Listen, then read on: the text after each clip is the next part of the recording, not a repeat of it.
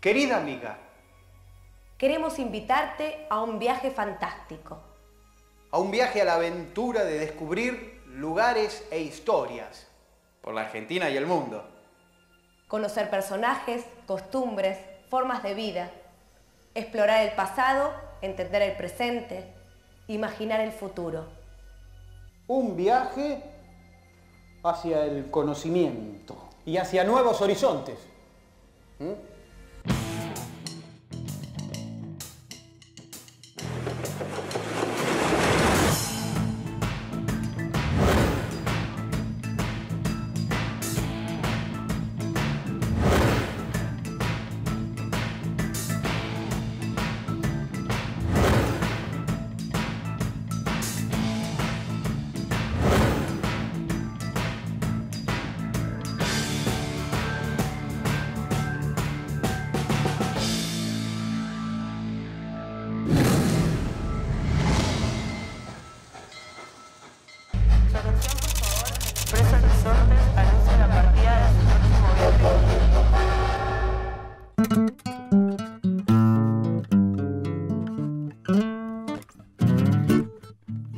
Tomás, ¿qué haces? Estoy ensayando para el concurso que hay en la exposición del tango. ¿Te parece que les podré ganar? Estás soñando. Ellos tienen técnica, bailan con sentimiento. Pero bueno, elegiste bien la compañera, es igual a vos. Ah, ¿Por qué lo decís? Porque es un muñeco. No le hagas caso, Malena. Son celos, es envidia. Oíme, si vos querés bailar el tango, tenés que sentirlo. Quizás te puede ayudar saber cómo nació, cómo se desarrolló. Es lo que voy a investigar hoy. Uh, entonces te acompaño. Bueno, nos vemos en el vagón. Dale. Vamos, Malena. Un, dos, tres, cuatro. Voy a necesitar la ayuda de un tanguero de ley. Precisas una ayuda, si te hace falta un consejo. Gardel. Acordate de este amigo que ha de jugarse el pellejo para ayudarte en lo que pueda cuando llegue la ocasión. Gracias, Carlitos. Cada día canta mejor.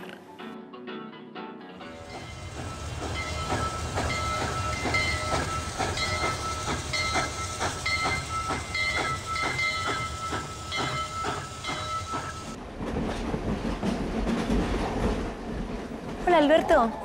Qué interesante ver las fotos de Buenos Aires cuando nacía el tango. A finales del siglo XIX, con la llegada de los inmigrantes y a la par de los cambios sociales y culturales, surge el tango. La música del Río de la Plata. ¿Y cuál es la definición de la palabra tango en el diccionario? Muy bien, Lola. En 1803 figuraba en el diccionario de la Real Academia Española como variante de tángano, un hueso o piedra que se usaba para un juego. En 1889 se incluyó un nuevo significado, fiesta y baile de negros y de gente de pueblo en América. Recién, unos 100 años después, se definió al tango como baile argentino de pareja enlazada, forma musical binaria y compás de 2x4 difundido internacionalmente. ¿Puede ser que yo haya escuchado otra definición? Sí, bueno, algunos especialistas dicen que es un vocablo africano que lo trajeron los esclavos, que su significado quiere decir lugar cerrado. Qué interesante. ¿Y puede ser que el tango antes no tenía letra y solamente se bailaba? Sí, bailarlo era un hábito en las afueras de Buenos Aires. El baile se originó en el puerto, se extendió a los barrios del sur como San Telmo, Montserrat y Pompeya y tuvo su crecimiento paralelo al de la sociedad argentina. El tango se desarrolló en los patios de los conventillos y fue un fenómeno popular propio del mestizaje multicultural y multiétnico. Música, baile, pasión, poesía, eso combinaba el tango. Era una expresión popular que había nacido oculta, había nacido de una forma prohibida. Y ya vas a ver por qué. Y musicalmente el tango es el resultado de muchos ritmos, ¿no? Sí. El tango fue la suma de pasos del baile negro, la rítmica de la habanera, el carácter orillero de la milonga y elementos de distintos cancioneros. Toda esa fusión dio origen al tango. Traídos por gente de distintas culturas, etnias y nacionalidades. El espíritu de la música combinó métricas, acentuaciones, intenciones y melodías con los versos y la poesía de la vida de las orillas. La población se multiplicaba, se mezclaba y mientras tanto aparecían los tangos con letra. Eran canciones que reflejaban los sentimientos, la forma de vivir y hasta el hablar de los habitantes de la ciudad. Y el baile se convertía en una danza de sentimientos. Alberto, ¿qué está haciendo? Estoy viendo los instrumentos del tango. Los primeros conjuntos. Flauta, violín y guitarra. Los del trío. Después añadió el bandoneón para formar el... Cuarteto. Ah, qué inteligente que es Lola. Luego los conjuntos se integraron con la cantidad de músicos que se pudieran mantener. Algunos incluían arpas, mandolinas, pistones, clarinetes, y a partir de 1900 aparecieron los quintetos y sextetos. Pero un lugar iba a cambiar el panorama de trabajo de los músicos. ¿Y el cabaret por qué? Porque el cabaret le iba a pagar mucho mejor a los músicos que en el café. Los cabarets incorporan un piano y van a tener músicos estables vestidos con elegancia. Se forman entonces conjuntos integrados por un piano, generalmente dos violines y dos bandoneones, y un instrumento que hace de bajo. Era la famosa orquesta típica. Así la bautizó Francisco Canaro, un gran compositor y director en los bailes de carnaval de 1917. Estas orquestas a veces cuentan con alguna mujer, como Paquita Bernardo, la primera bandoneonista. ¿Cuáles fueron las orquestas más importantes, Alberto? Y bueno, la de Juan D'Arienzo, la de Carlos Di Sarli, Osvaldo Fresedo o Julio De Caro.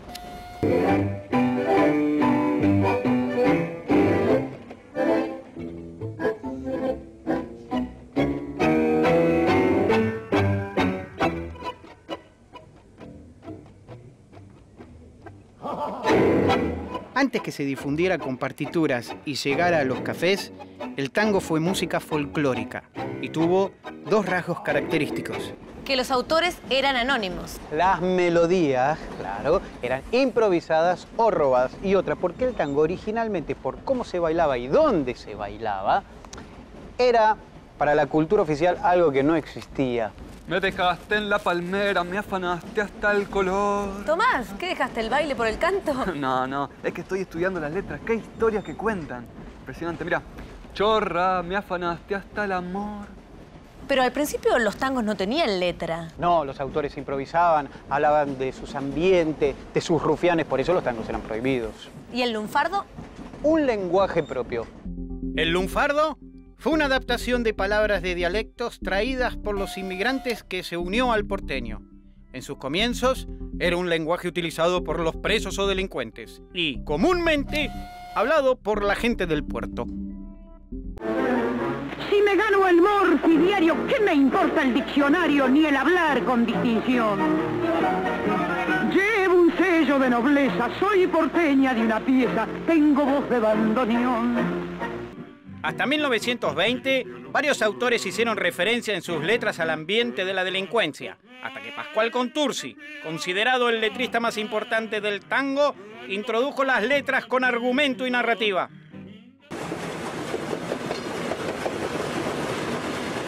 Lola, si querés saber más sobre el tango, yo te recomiendo que escuches la voz de un especialista.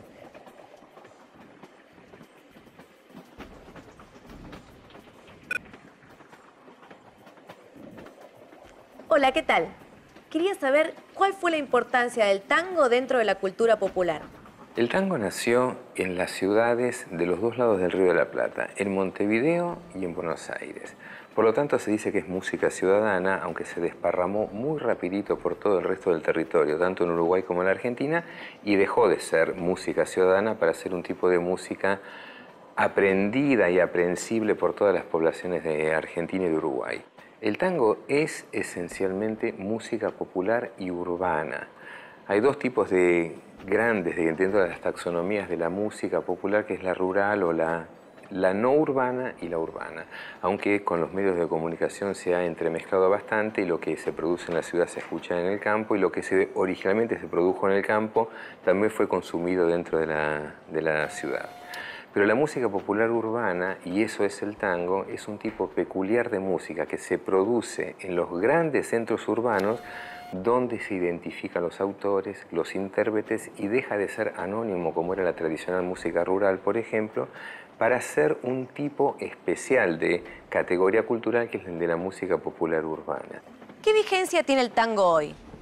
El tango hoy no es la expresión de las culturas populares por excelencia, que eso lo tenemos en los géneros tropicales, en otro tipo de consumo de otro tipo de productos musicales, y el tango ha pasado a ser una especie de categoría artística en las cuales están aquellos antiguos consumidores del tango que fueron las clases populares, que ya hoy tienen mucha más edad que yo, pero que siguen todavía considerándolo al tango como una categoría de música popular, y están los otros, los de mi edad o los menores que yo, que lo ven como una categoría artística dentro de lo que es la música popular.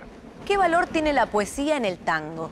Dentro de lo que es la poesía del tango hay distintas etapas, hay distinto tipo de poética, están las letras argumentales con las cuales nació el tango vocal alrededor de 1920 y la, y la poesía, por decirlo de alguna manera que no me gusta, pero que se entiende que es la poesía culta, la no lunfarda, que arrancó con, con González Castillo, continuó con Manso, Mansi y Cátulo Castillo, que hacen que sea realmente un campo de la literatura y de la cultura popular absolutamente admirable. Tanto como la música, como la coreografía, el tango es una joya. Muchas gracias. En las últimas décadas del siglo XIX, la sociedad porteña vivió varios hechos históricos que influyeron en los orígenes del tango. Por ejemplo, la construcción del nuevo puerto de Buenos Aires en 1870, el fin de la guerra del Paraguay al año siguiente y la federalización de Buenos Aires en 1880. Ah, y hubo otro hecho que cambió a la ciudad, la epidemia de fiebre amarilla. Lola, vos querés hacer un viaje a la estación del pasado, ¿no? Alberto, ya me lee la mente usted. Vaya yendo a la estación. Vaya, yo voy fijando la fecha. Gracias. Hace conmigo lo que quiere.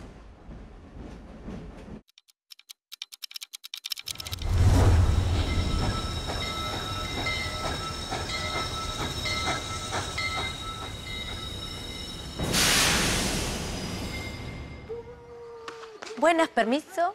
Ay, Ah, Alberto me dijo que iba a tener una visitante del futuro, pero no me dijo que iba a ser tan bonita. Ay, gracias. Yo venía a preguntarle por los cambios que hubo en Buenos Aires desde 1870 y cómo influyeron en los principios del tango. Yo era muy chiquito, pero me lo contaron mis padres. Los inmigrantes y los migrantes del interior, en su llegada, se instalaban a orillas del río.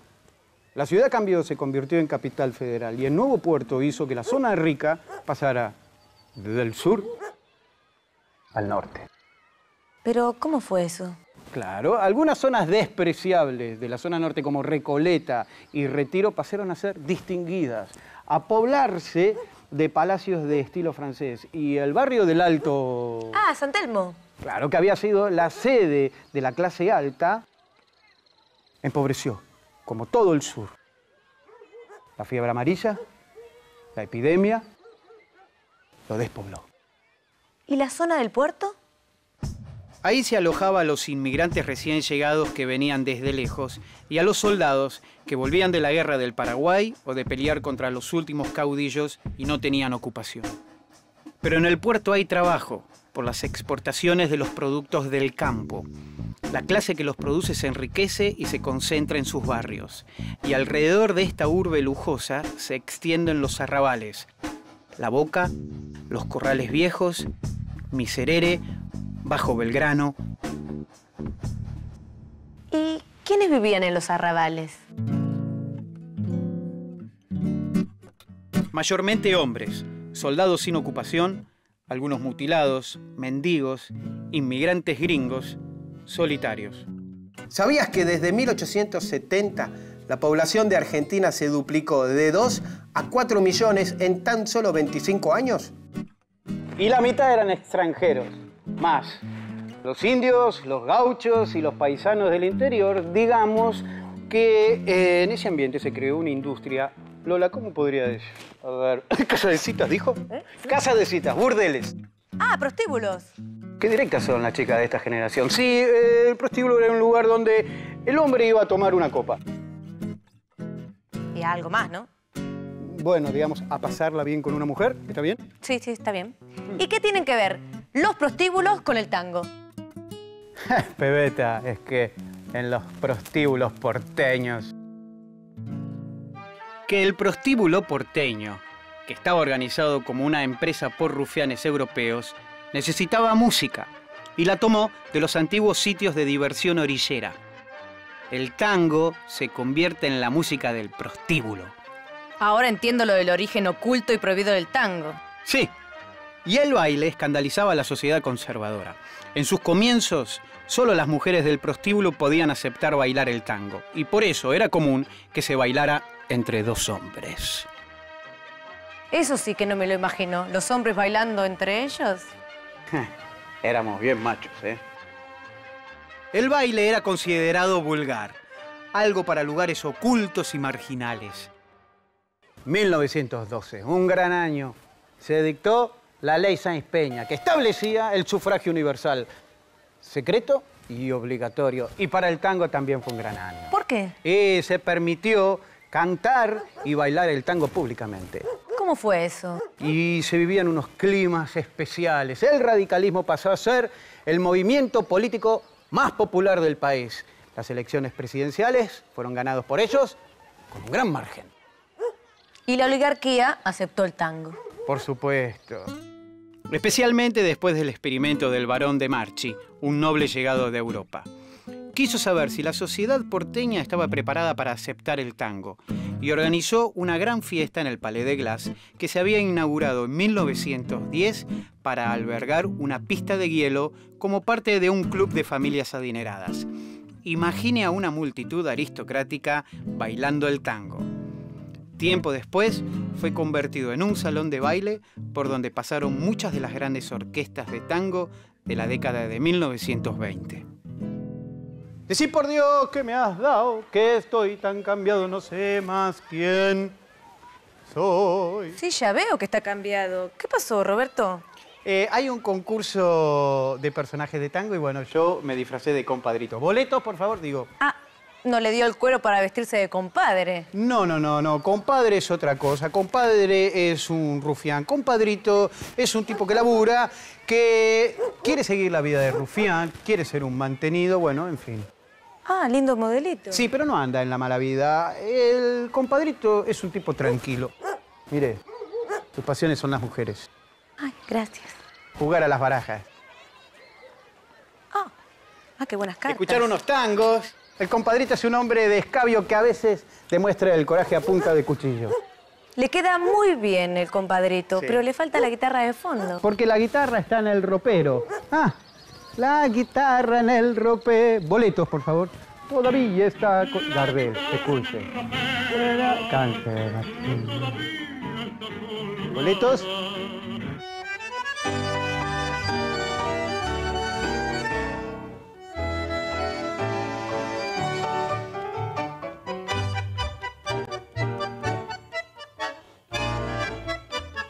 Qué difícil que es esta. ¿En qué calle de Buenos Aires nació el poeta de tango, autor de célebres letras, Enrique Santos Discépolo? Paso. ¿No lo sabe? Bueno, paso a la próxima. No, Paso, Paso. Eh, nació en la calle Paso, en el barrio de Balvanera, en 1901. ¿Qué tiempo para ser chicos? ¿eh? Buenos Aires cambiaba a toda velocidad, aparecían los tranvías eléctricos, los autos, las avenidas del norte eran cada vez más lujosas y muy distintas a las calles del barrio de Discépolo, ¿no? Claro. ¿Vamos con la segunda? Vamos. Título del primer tango de Discépolo y además pequeña masa ideal para comer acompañando el mate. ¿Bizcochito? ¡Ay, me lo sacaste de la punta de la lengua! Mira, sí, Bizcocho lo escribió a los 22 años y ya aparece la esencia de su obra. Discépolo va a reflejar eh, ese mundo del bajo fondo, de personajes solitarios, frustrados, expulsados por la sociedad. El tango de la miseadura. Esta vale por seis. A ver. Títulos de seis tangos de Discépolo estrenados desde 1926. Creo que ya lo sé. Chorra. Chorra es usted, eso yo lo sabía. ¿Cómo me Eh, hace cho- así? Chorra, qué bachaché. Esta noche me emborracho, male baje, justo el 31. Ay, me falta uno, me falta uno. ¡Victoria! Sí, Victoria, ¿cómo lo sabía? No, Victoria es mi amiga que pasó por ahí. Ah, Victoria era una novia que me dejó je, y quedé hecho un trapito. Era la temática de los tangos de Discépolo. Luzó en que bachaché, eh, Tres Esperanzas. Bueno, dale, la siguiente. Título y año de composición de los tangos de Discépolo que estamos escuchando. Que el mundo fue y será una porquería, ya lo Es un clásico, lo sabe cualquiera. Cambalache, 1935. Qué crucigrama más original. Sí. De chiquilín. ¿Y este? ¿Lo sabe? Sí, pero me gusta tanto que lo quiero escuchar. Ay, dele, vamos. Bueno, está bien, Cafetín de Buenos Aires, 1948. Mire, eh, pintaban el panorama de la Argentina y del mundo de estos años. Para Discípulo la realidad es absurda porque todo se mezclaba sin valor, ¿eh? como la Biblia y el calefón, en la vidriera de un cambalache. Algunas de las letras de Discépolo parecen actuales. Y sí, se aplican a muchos momentos y situaciones de nuestros tiempos. Por eso la vigencia de este poeta, ¿no? Del tango de la misiadura. Bueno, lo completamos. Muchísimas gracias, Lola. Usted es una amiga. De nada. Escuche. Si sos lo único en la vida.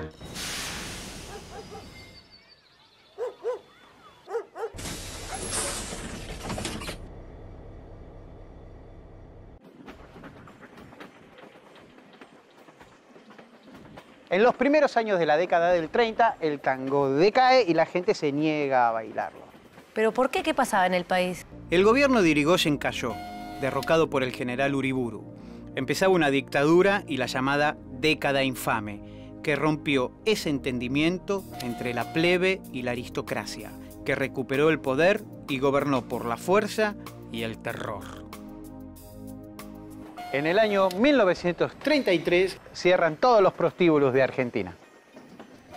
Con ese marco, el tango parece fuera de lugar. La gente ya no quiere bailarlo y prefiere los ritmos extranjeros que difunde el cine. ¿Y los que querían escuchar tango? Quedaba un refugio para escuchar a los virtuosos, los cafés. En los años 30 la ciudad también refleja los cambios. Corrientes, que era angosta, se convierte en avenida para que circulen los autos. En los teatros los espectáculos se burlan de la falta de trabajo o de dinero. La milla dura es protagonista. Una de las estrellas del tango de la época era una mujer, Tita Merelo. Con este tango nació el tango y como un grito salió del sórdido barrial buscando el cielo. ¿Y qué pensás, Lola?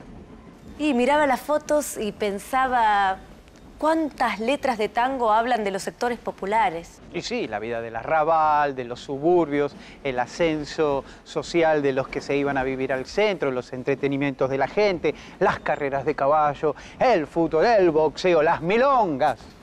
Qué historia la del tango, ¿no? Sí. Sobrevivió a los prejuicios, a las prohibiciones, la censura. Nada pudo detenerlo. Uy, llegamos. Sí. Bueno, adiós. Adiós, Lola. Adiós, Alberto. Hasta la próxima. Hasta la próxima. Ay, La quiero así, con su cara de muñeca. La quiero así.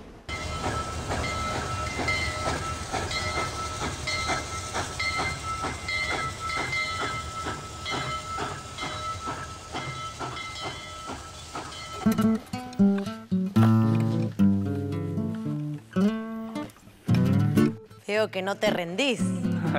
Es que quiero repetir la historia del tango. Yo nací en La Boca, como el tango que nació en el sur de la ciudad, reflejando esa vida. Y mira cómo terminó, conocido en todo el mundo. ¿Me acompañas? ¿A recorrer el mundo? Bueno, empecemos por unos pasitos acá en la estación. Si tu pareja no se ofende, no hay problema. Malena, creo que lo nuestro terminó. No, no sos vos, soy yo. Pero basta.